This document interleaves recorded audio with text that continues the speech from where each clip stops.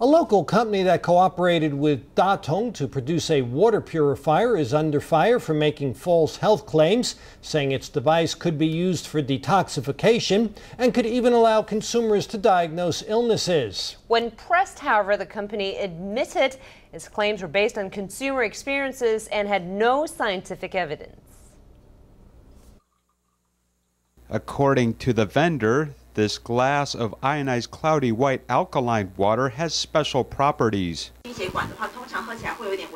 you have cardiovascular problems, this will taste a little sour. If you have problems with your liver, it will be a little bitter. And if you are the typical female worker with poor kidney function, the water could have a strong odor. The vendor used electronic sensors to test the alkaline water alongside normal tap water in an attempt to show that alkaline water has greater purity.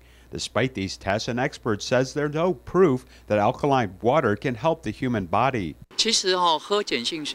There is no medical basis to support claims that drinking alkaline water can benefit one's health or that the taste of the water can diagnose disease. The water purifier and ionizer have a Tatung logo, though Tatung says it has ended its cooperation with this company.